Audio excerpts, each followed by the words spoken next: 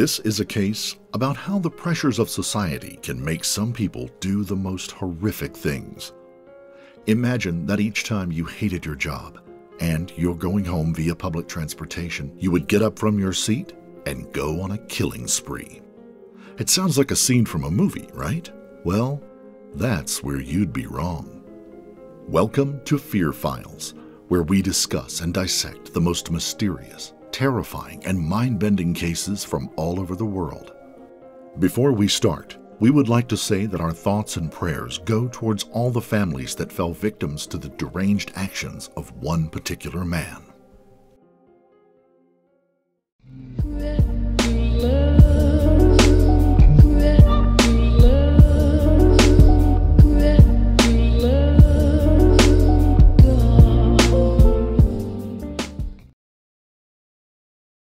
Welcome to Japan, one of the most beautiful countries in the entire world. Famous for its natural sights like cherry blossoms and Mount Fuji, as well as for its cutting edge technology like bullet trains and karaoke machines. Japan seems like the perfect place to live. The people are all so civilized, and to the Western world, it appears nothing bad would ever happen there. Of course, that's not the case.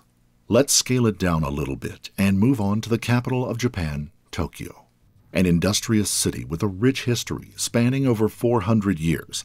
This metropolis is famous for the world's top rated restaurants, delicious cuisine, and the busiest intersection on the planet called Shibuya Crossing, among other things. Being such a busy place with a large population, it's inevitable that amongst the wonderful citizens of Tokyo, we would find some bad apples. And speaking of ill intended people, let's talk about Kyota Hattori. There isn't much to say about the 24 year old. All that we know about him is that he wasn't a person that got along with other people. He had trouble engaging in social activities with his so called friends, and even at his job. He didn't really get along with anyone. What we do know is the fact that he was a Joker fanatic. He loved the character so much that he used to dress up as him for Halloween. It seems like he identified with the fictional villain because Kyota also thought he was misunderstood and oppressed. Speaking of Halloween, let's go back to the night of October 31st, 2021. What were you doing at that time? We bet you were celebrating Halloween, wandering the pumpkin decorated streets. Some of you may have been at home waiting for trick or treaters. When it comes to Tokyo, things are pretty much the same. People are partying, all dressed up in some of the most creative costumes you'd ever see, and overall, they were having an amazing time. But that night, horror came to life in Japan. And we're not talking about ghouls and goblins. No, we're referring to the sick actions of an individual. Actions that ended in 17 injuries, one of the individuals being as close to losing his life as possible. It all happened around 8 p.m. A train was returning from the western suburb of Shibuya. The means of public transportation was filled with people which were going to their homes after they were at different parties, so the thought of something so unspeakable happening was not on their minds. Then, Kyota Hattori boards the train, ready to put an end to several people's lives. But he didn't just think about that. Oh no, the 24 year old planned everything since June of 2021. In that period, he had some problems at work. It's not clear what kind of trouble he got himself into, but it was clear in his mind murdering several people was the only solution. But before the rampage happened, let's go back and check out a timeline compiled by police thanks to the footage they had from several security cameras. Fortunately, Japan, and more specifically Tokyo, has a large number of devices that make it easier for police to protect their citizens.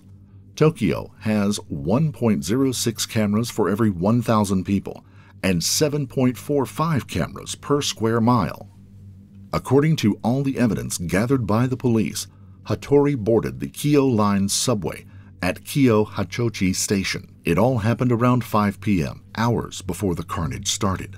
It was pretty early at that hour.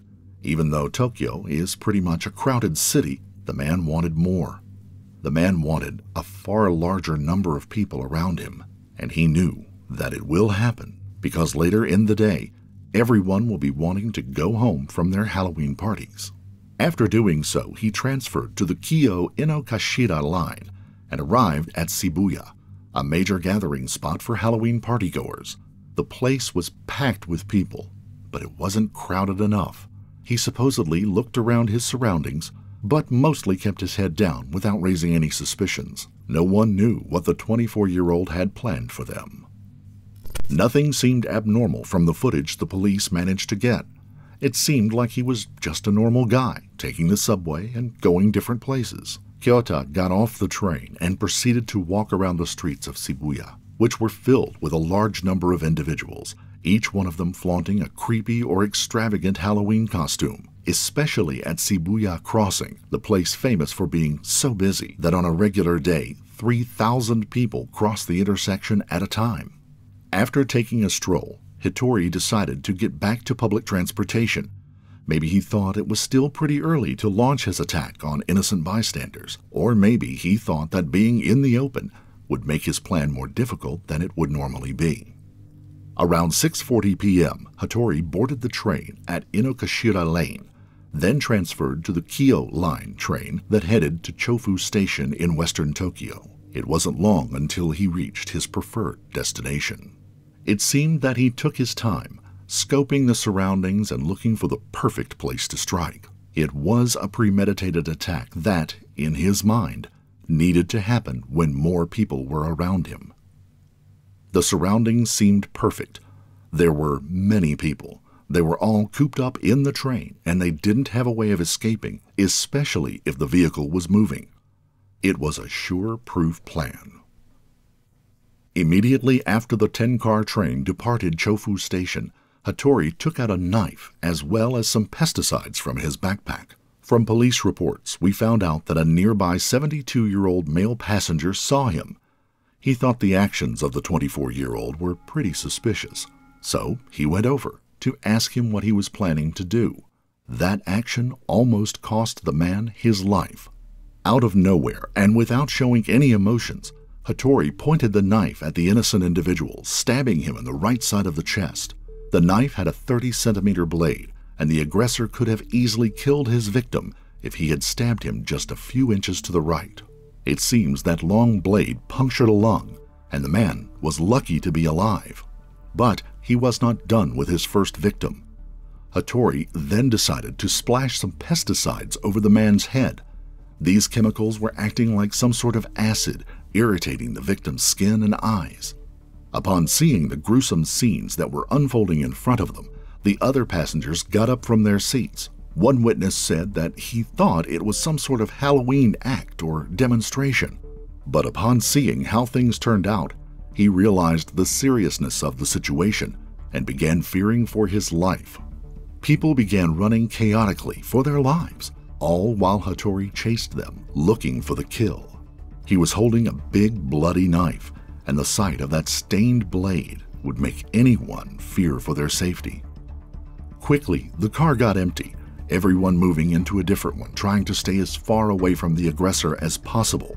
Other videos captured on smartphones showed desperate passengers struggling to squeeze out of the train's partially opened windows onto the platform of the Kokuryo station. It all looked like a scene from a movie, the people that were already waiting for the train thought that there was a terrorist attack. The doors had failed to immediately open when the train stopped, and people were trying to get out of the enclosed car to save their lives. As he was chasing the passengers frantically throughout the train, the Japanese Joker was also doing something else. He swapped the pesticides for lighter fluid this time, and he was splashing it around on the seats and walls of the train. He then set the entire place on fire. Some of the other scenes were filmed by witnesses, and one video uploaded on Twitter showed a steady stream of people running away from the train car, trying to escape the flames, but still suffering some injuries from smoke that had resulted. The floors and ceilings of some train cars were burned, as police stated. Firefighters were able to put out the fire after 30 minutes. Another video showed police officers entering the train. By that point, Almost every other person that was inside the train had managed to escape, except for those who were hurt. But there was still someone there who was completely fine physically. As the trained officers stepped foot inside, they noticed Hattori. He was sitting with his legs crossed, and it seemed he didn't have a care in the world. Also, pictures surfaced on the internet of him at the moment when he lit up a cigarette, looking like he was rewarding himself for a job well done. The investigators examined the train cars that were involved in the incident and removed them from the subway, locating them to a rail yard the day after. As the result of his attacks, fortunately, no one lost his life, even though the man that ended up being stabbed remains in critical condition. Apart from him, 16 other passengers, with ages that range from 10 to 69 years old, suffered throat pain and breathing difficulty from all of the smoke they had inhaled, as well as other mild injuries. But what made the young man resort to such dangerous actions? Why would he want to kill people that he didn't know without any clear reason? Sources said that the 24 year old suspect had planned to commit the heinous crimes since June. According to the investigators, he revealed that he had many problems at his place of work. He also had trouble forming relationships with other people. The Metropolitan Police Department learned that Hattori had caused trouble at his workplace in June and had quit his job. But what was his way of thinking? Well, as the perpetrator said, he wanted to commit mass murder. He wanted to kill at least two people so that after police arrested him, he would be sentenced to death. That's right, Hattori was hoping for the death penalty so that his life would end. You could call it a form of suicide, but in this case, other people were supposed to lose their lives. On November 2nd, the police referred Hattori to the public prosecutor's office. Upon further questioning, he admitted that he chose Halloween night because he knew that many people would be out, and it would be easier for him to choose his victims from a sea of individuals roaming the streets or using the means of public transportation. Hattori also told the police that he had chosen an express train to carry out the attacks as it runs for a longer amount of time between stops, reports the Japan Times. At the time of the attacks, Hattori was wearing a purple suit with a green shirt. Yes, that may sound familiar. On the 31st of October, he was dressed up as the iconic villain from the Batman comic books, the Joker. The criminal admitted that he copied the Joker, adding that he admired the character because he was so comfortable with murdering people. Of course, the 24 year old had never attempted to murder anyone before, so dressing up as a character that did that on a daily basis, he thought he would gain the confidence to finish the job. He also said that it was his best outfit and he purposefully purchased it to wear on that particular day.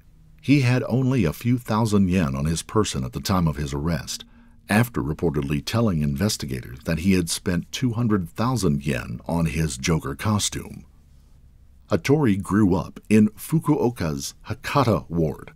Hakata is one of the oldest cities in Japan and is known for its modern malls and traditional craft stores on the Kawabata shopping arcade.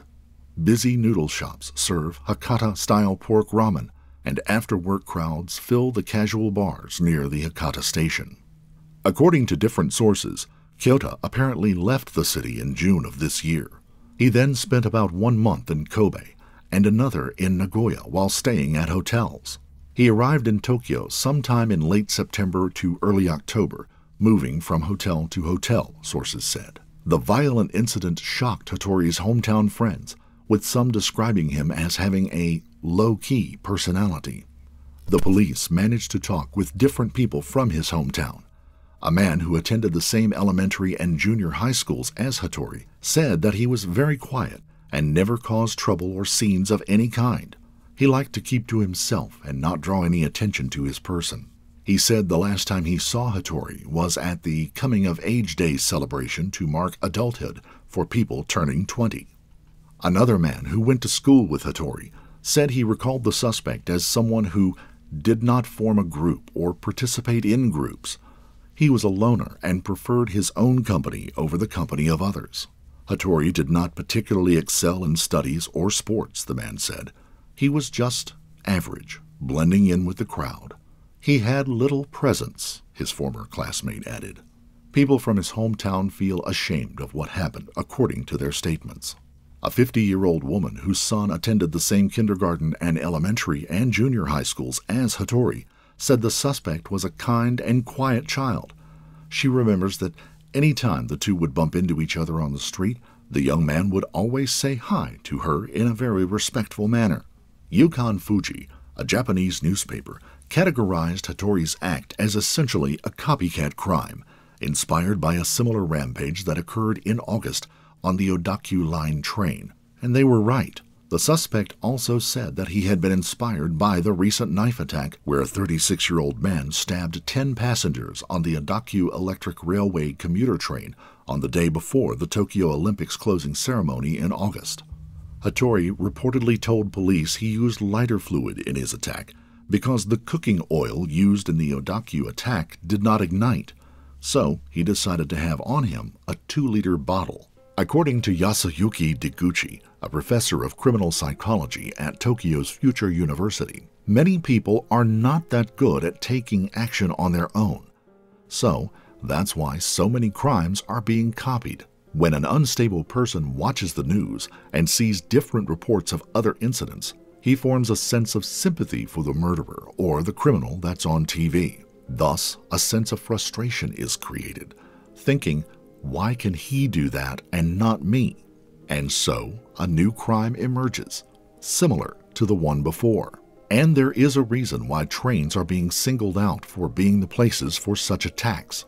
This means of public transportation are enclosed spaces, and potential victims cannot escape immediately when something occurs. Also, if the driver or conductor is not informed that something is going on through an emergency intercom, he can't take action and halt the train to permit the victims to escape. Thus, it is the perfect place for a murderer to do his bidding. After the attacks that Hattori made during Halloween night, a bunch of different perspectives have popped up over many news outlets.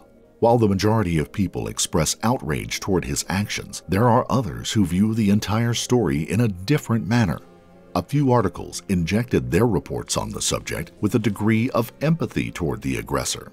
They managed to describe him as a himote otoko. This term can be translated as an unpopular man, or better yet, it can be compared to the Western term of incels, or involuntary celibate males, that live their lives on the web and don't go out to meet other people and have a social life. Instead, they are perfectly comfortable in their own separate bubble. But of course, that separation often leads to frustration and ultimately to desperate acts like the one we're talking about.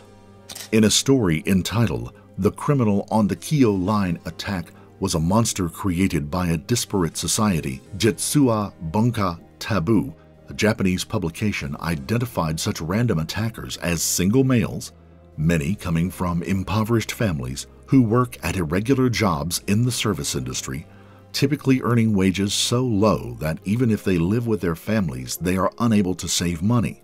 Others, once being rejected by a girlfriend, never recover their mental equilibrium. In the article, the writer concludes that we have no idea when another Hattori like character will attempt to kill again. It also states that the only way to avoid such incidents is to build a society where even the misfits can live happily in their own way, on their own terms, as opposed to them being treated as outcasts. This was the second attack involving a knife on a Tokyo train in two months.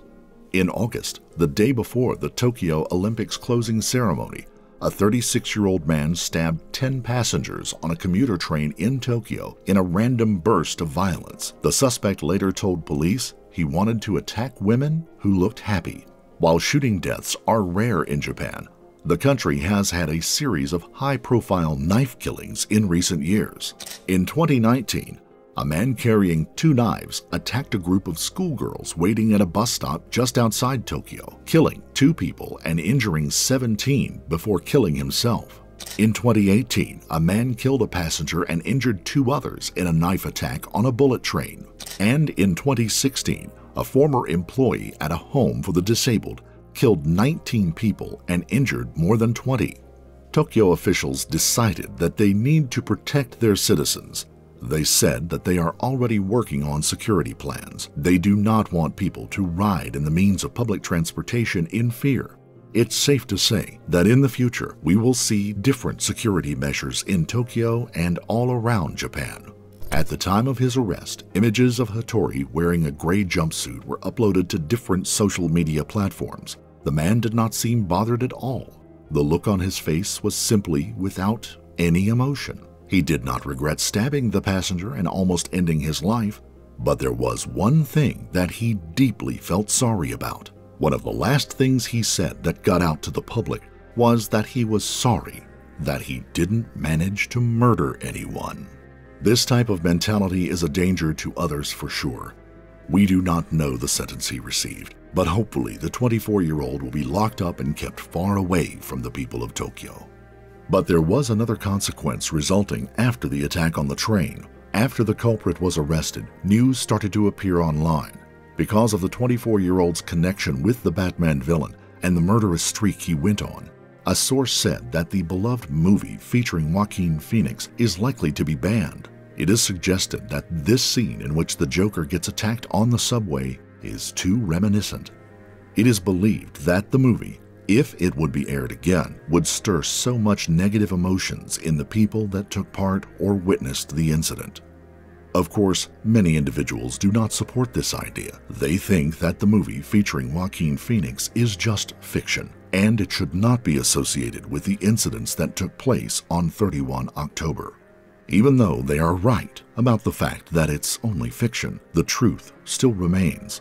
Hattori proceeded to do these horrible acts after being inspired by the blockbuster.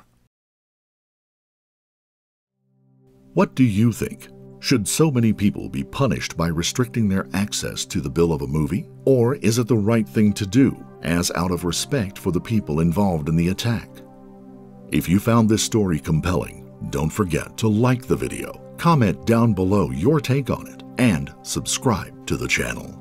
Also, hit that notification bell in order to stay up to date each time we reveal a new shocking case. And until next time, stay safe, keep your eyes peeled. You never know what's lurking in the shadows.